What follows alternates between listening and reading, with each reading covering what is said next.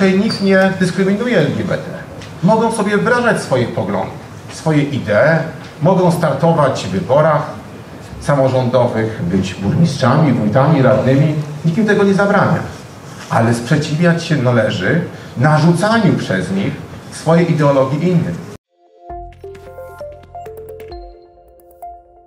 Tymczasem to, z czym mamy do czynienia dziś, to jest walec ideologiczny, który próbuje się wtłoczyć nam przez różnego rodzaju środki, takie jak oświata, kultura, edukacja, ośrodki, które są w rękach samorządów. I dlatego to jest bardzo dobre miejsce, że dziś tutaj o tym dyskutujemy.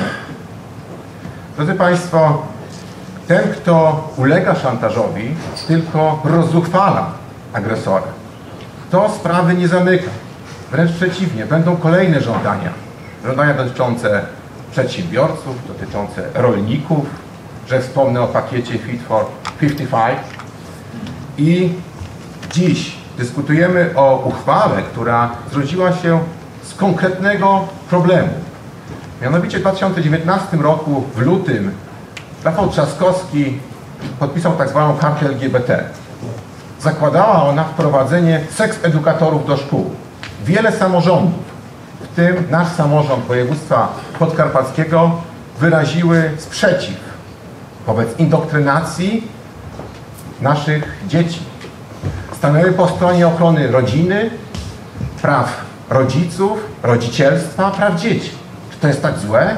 Jeżeli czytamy tę uchwałę, drodzy Państwo, z 2019 roku, tam czytamy piękne hasła o poszanowaniu konstytucji, szacunku dla zasady wolności, dla zasady praw chrześcijańskich i prawa naturalnego. Prawo naturalne, konstytucja, wolność to są szczytne idee, których dziś bronimy. Oto dziś jest ta dyskusja. I następnie rozpoczął się szantaż. To, z czym mamy dziś do czynienia, to jest zupełne bezprawie. Drodzy Państwo, żeby było jasne, w traktatach nie ma ani słowa na temat możliwości blokowania pieniędzy w zamian za takie, a nie inne poglądy. Dziś mówimy o próbie tamowania światopoglądu, tamowania wolności, próbie wykreślania naszej konstytucji. Przypomnę, w artykule 48 jest mowa o tym, że rodzice mają prawo do wychowania dzieci zgodnie ze swoim światopoglądem w oparciu o swoją wizję religijną, swoją wizję państwa. Dlatego też dziś mówimy o bardzo ważnych kwestiach i bardzo proszę o niepoddawanie się temu szantażowi. Nikt nie szantaż, dzisiaj nikt nie dyskryminuje LGBT. Mogą sobie wyrażać swoje poglądy, swoje idee, mogą startować w wyborach samorządowych, być burmistrzami, wójtami, radnymi. Nikt im tego nie zabrania. Ale sprzeciwiać się należy narzucaniu przez nich swojej ideologii innym. Seks edukatorzy w szkołach, homopropaganda, którą się próbuje wtłaczać umysły tych najmłodszych, tych niewinnych, wbrew woli rodziców. Mniejszość próbuje terroryzować większość. I tutaj dziś jest miejsce, żeby powiedzieć wyraźne nie. Uleganie szantażowi tylko rozzuchwala tego, który to podejmuje. Drodzy Państwo, ta uchwała, ten projekt uchwały, który dziś otrzymaliśmy, jest absurdalny. Czytamy tam rzeczy, które są sprzeczne z naszą konstytucją. Czytamy tam, że o zakazie dyskryminacji ze względu na orientację seksualną. Zakaz dyskryminacji ze względu na orientację seksualną został 14 września niedawno przez Parlament Europejski w rezolucji określony jako akceptację dla małżeństw jednopłciowych i partnerskich, a dwa dni później 16 września Europejski Trybunał Praw Człowieka stwierdził, że Polska dyskryminuje panią, która zostawiła męża, czwórkę dzieci, związała się z inną panią i oczekiwała, że sąd jej przyzna dzieci. Sąd polski odmówił. Stwierdził, że prawo się należy do wychowania dzieci ojcu, nie małżeństwom jednopłciowym. Tymczasem Trybunał Praw Człowieka stwierdził coś zupełnie przeciwnego, że Polska dyskryminuje tą panią. Jeżeli zatem, drodzy radni, dziś chcecie podnieść rękę za tą uchwałą, tutaj proponowaną przez zarząd, podnosicie rękę, za akceptacją wychowania dzieci przez związki jednopłciowe, za akceptacją dla tego typu związków. W tym kierunku to zmierza. Nie oszukujmy się. Ten walec ideologiczny cały czas się będzie toczył.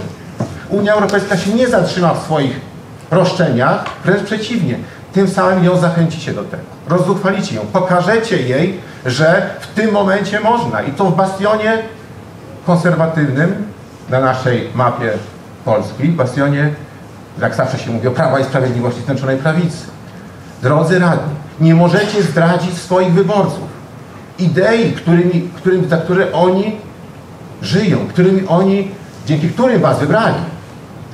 Przypomnę, przed dwoma, trzema laty w trakcie wielu wieców wyborczych, spotkań z wyborcami, o tym była mowa. I na koniec chciałbym odwołać się do tego miejsca, w którym jesteśmy. Jesteśmy w wyjątkowej sali.